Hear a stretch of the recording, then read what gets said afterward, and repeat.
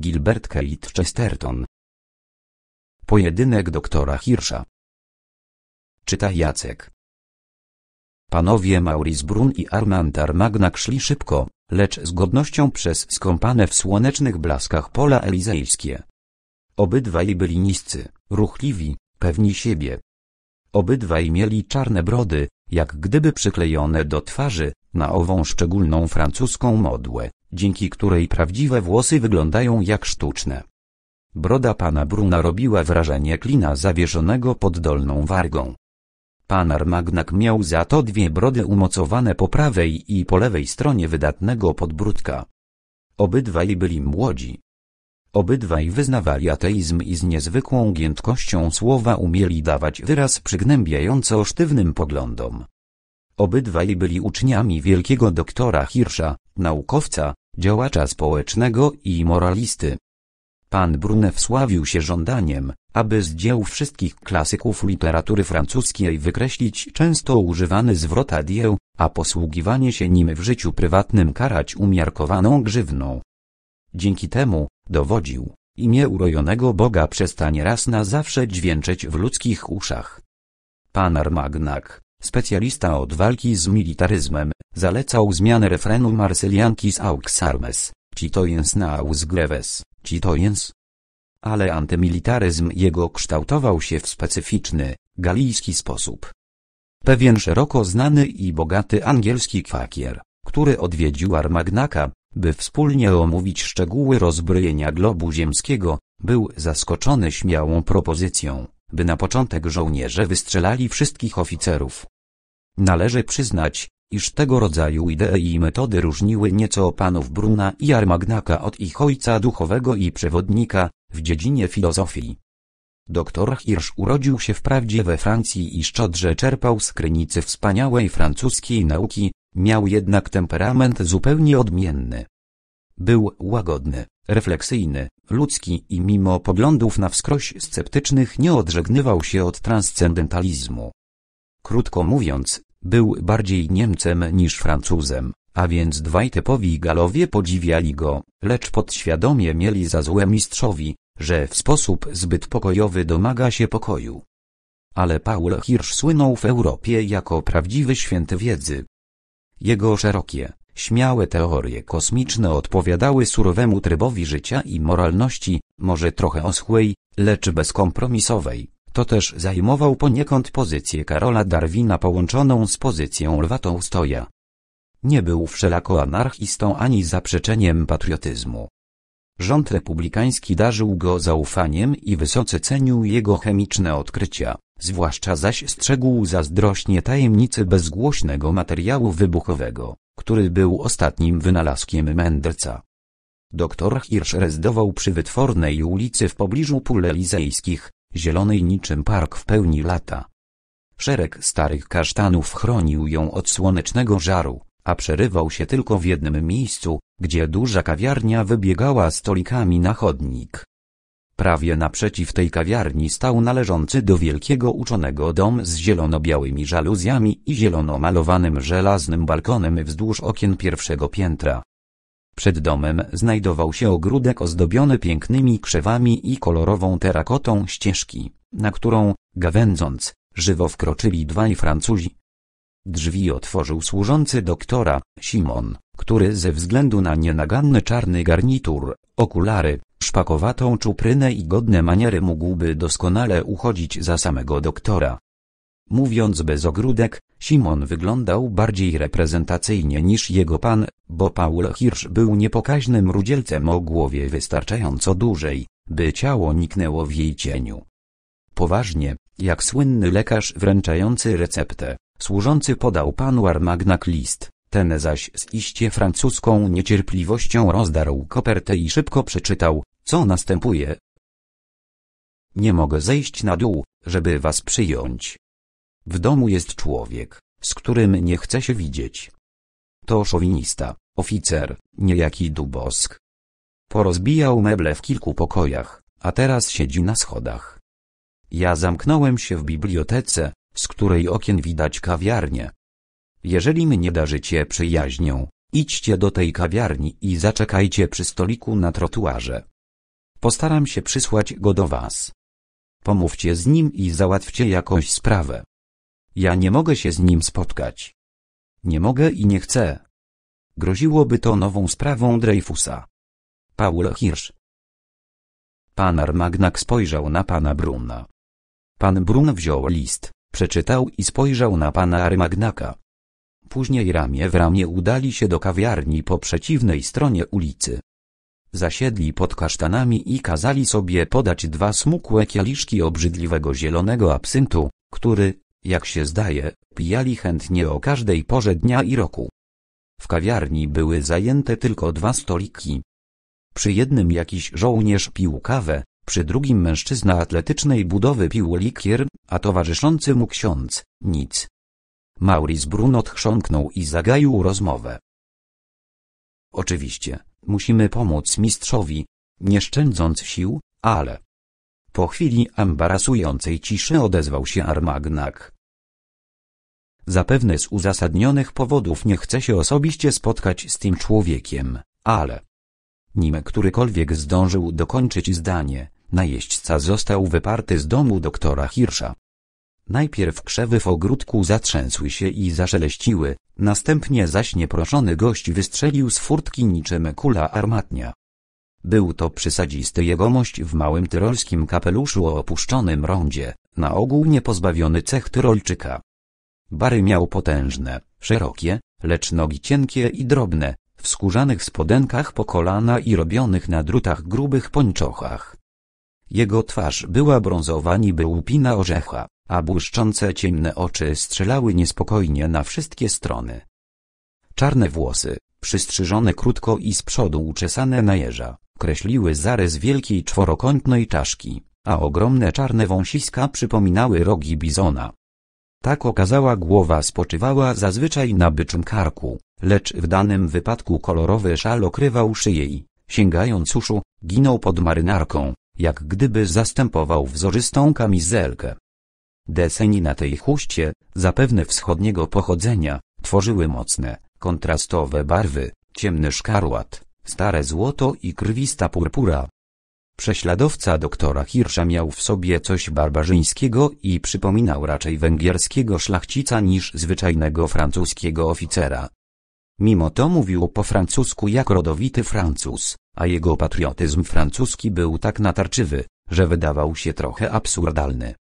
Gdy ów jegomość wyskoczył z furtki na środek ulicy, głosem surmy bojowej ryknął, jak gdyby pytał o chrześcijan w Mekce. Czy są tutaj Francuzi?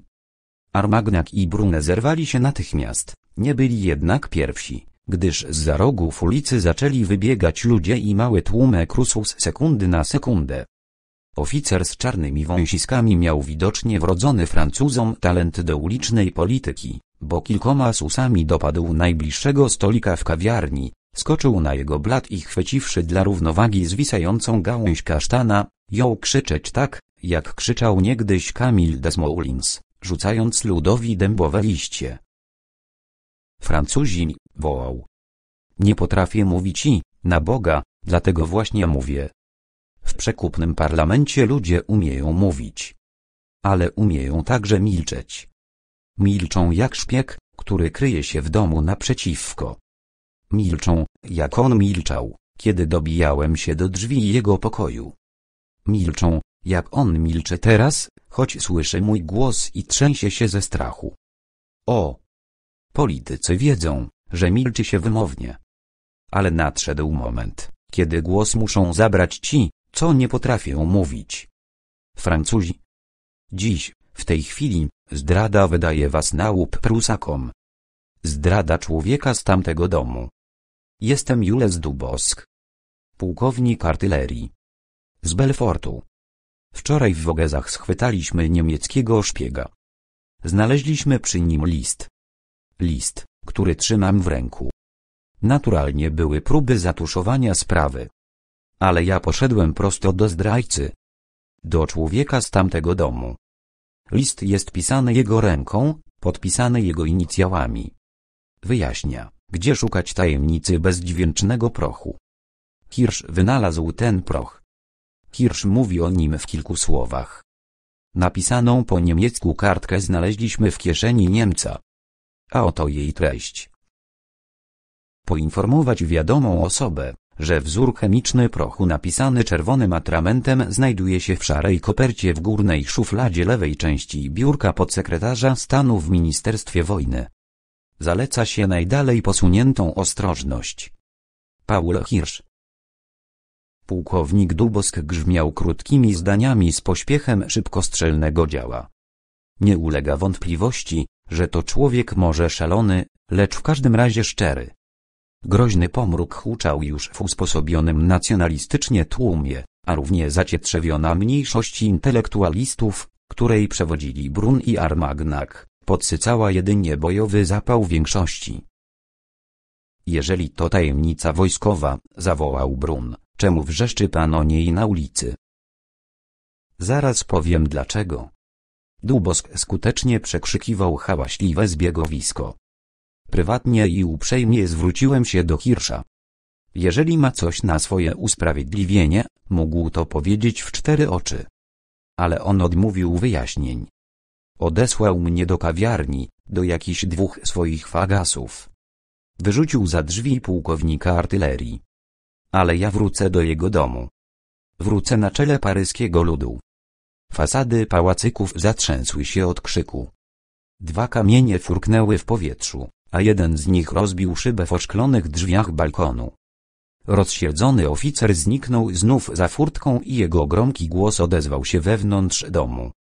Morze ludzkie rosło, burzyło się coraz bardziej.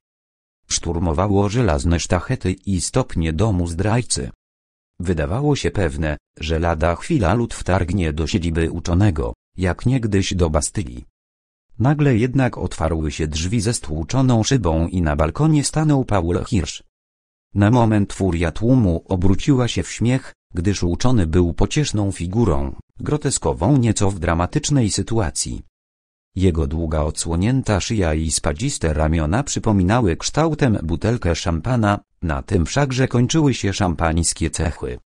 Marynarka wisiała na nim jak na kołku, długie włosy koloru marchwi zwisały w rzadkich stronkach, a kępki faworytów i brody rosnącej z dala od ust zabawnie otaczały owal twarzy. Doktor był bardzo blady i miał na nosie błękitne okulary. Nie wyglądał okazale, lecz mówił z rozpaczliwą stanowczością, to też motłoch przycichł w połowie trzeciego zdania.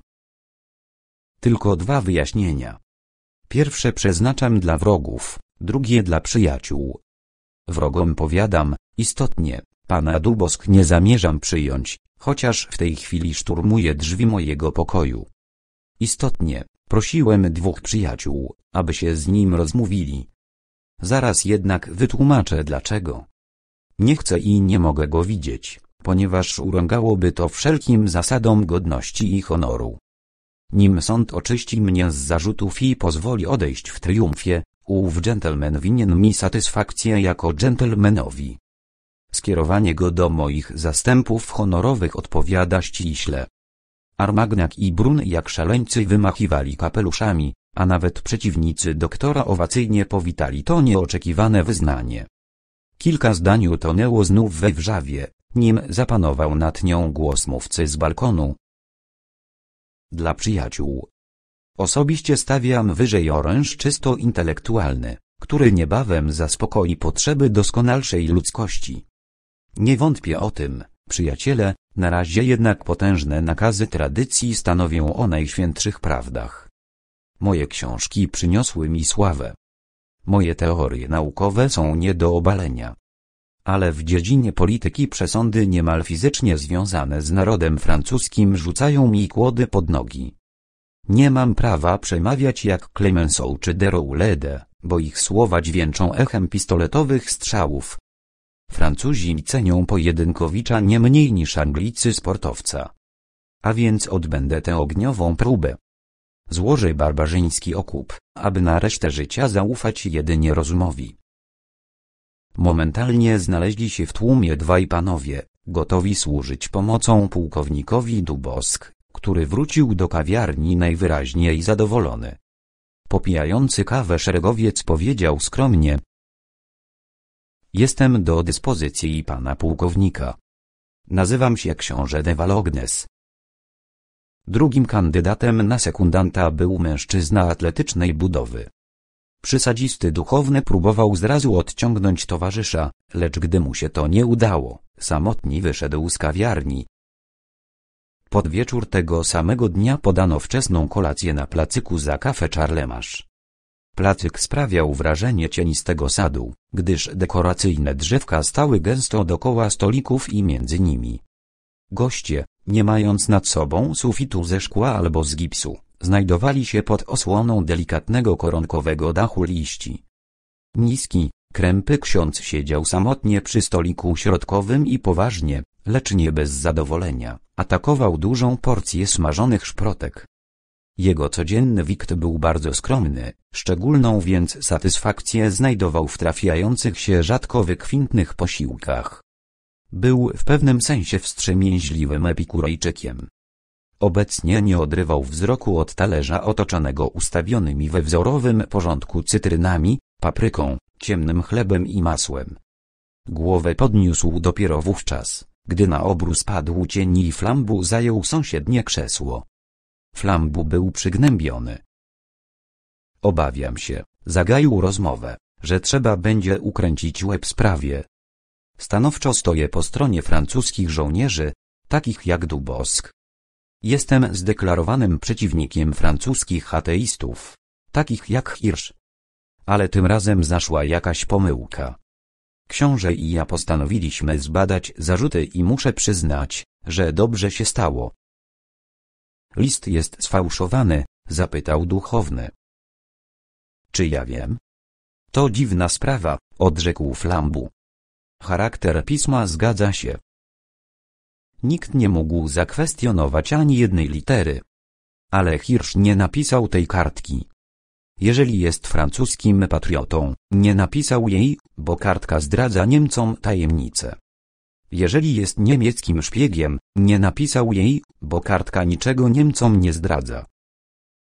A więc informacje są błędne, zapytał znów ojciec Braun. Zupełnie, potwierdził Francuz. A Hirsch nie mógł się tak pomylić. Musi przecież wiedzieć, gdzie urząd, z którym oficjalnie współpracuje, trzyma dokument pisany jego własną ręką.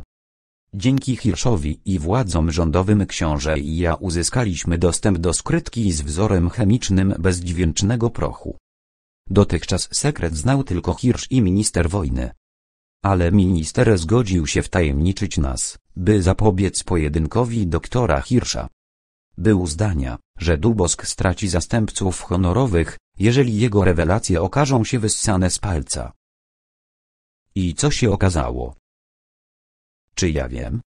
To dziwna sprawa, odrzekł Flambu. To fałszerstwo. Nieudolne fałszerstwo kogoś, kto nie ma pojęcia o prawdziwej kryjówce. Dokument miał być w szufladzie lewej części biurka podsekretarza stanu. Tymczasem sekretna szuflada jest w prawej części.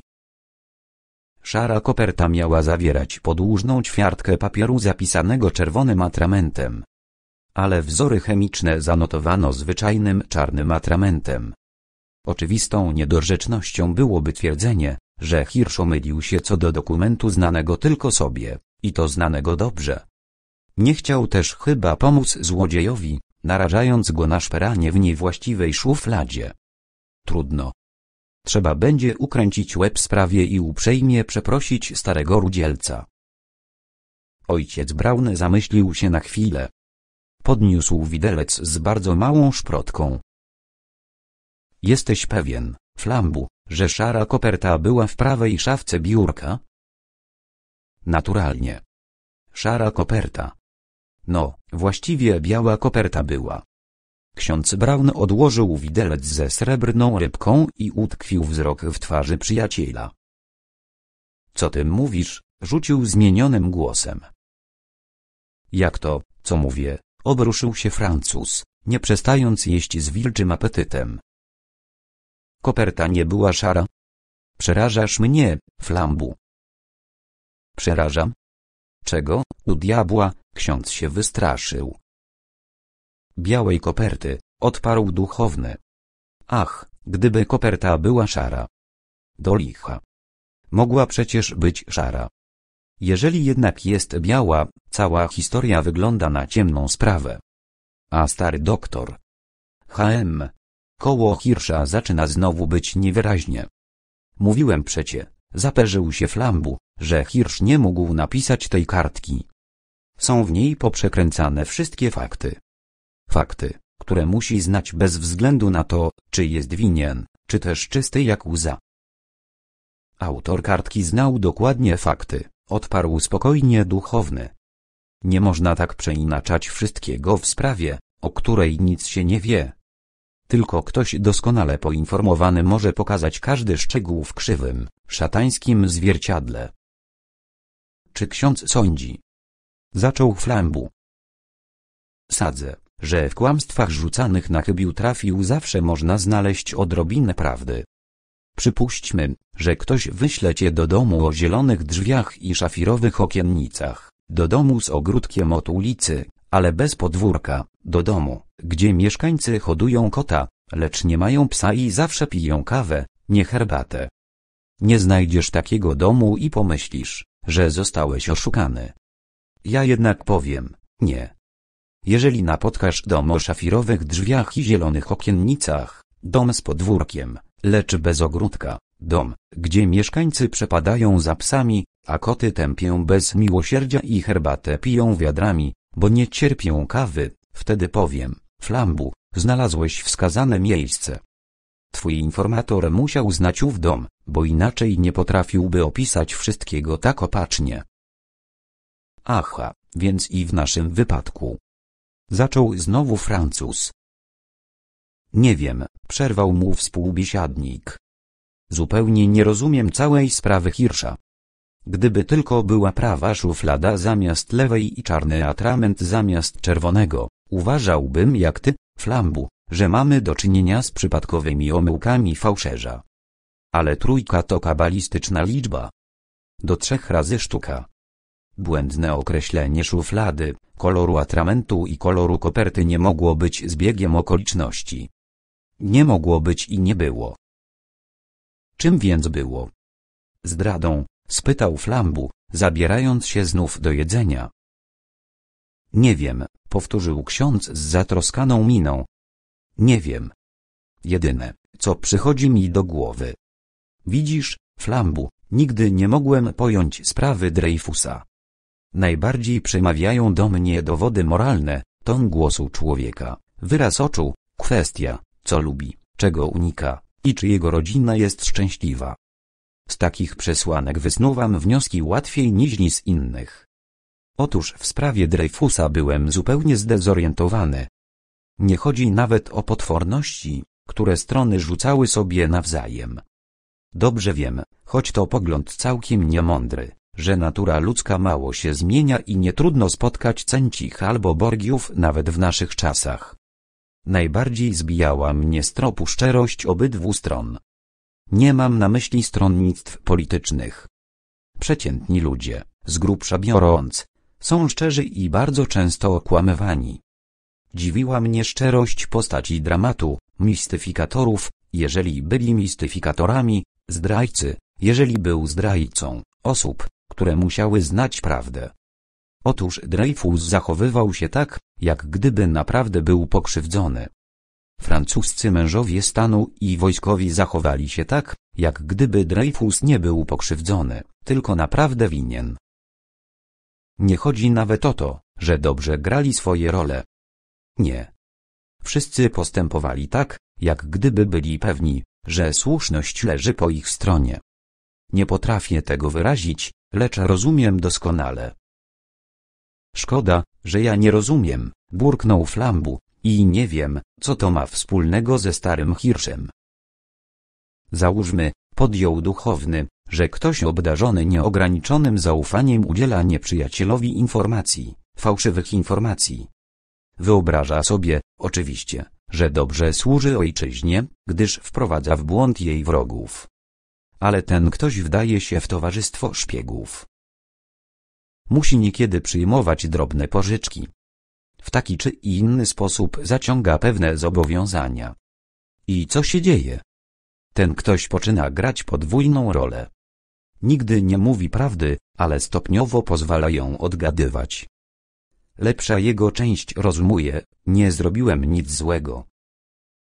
Napisałem przecież, że to lewa szuflada. A gorsza część dodaje zaraz, ale Niemcy będą przecież mieli tyle zdrowego rozsądku, by zajrzeć właśnie do prawej. Widzisz, Flambu, w naszej skomplikowanej epoce to przypadek psychologicznie uzasadniony. Zapewne, przyznał Flambu. Można by w taki sposób wyjaśnić, dlaczego Dreyfus szczerze uważał się za pokrzywdzonego, a oskarżyciele i sędziowie byli pewni jego winy. Ale to wyjaśnienie jest nieścisłe historycznie. W liście napisanym przez Dreyfusa, czy też przypisywanym Dreyfusowi, nie było omyłek rzeczowych. Nie myślałem o Dreyfusie, powiedział ojciec Braun.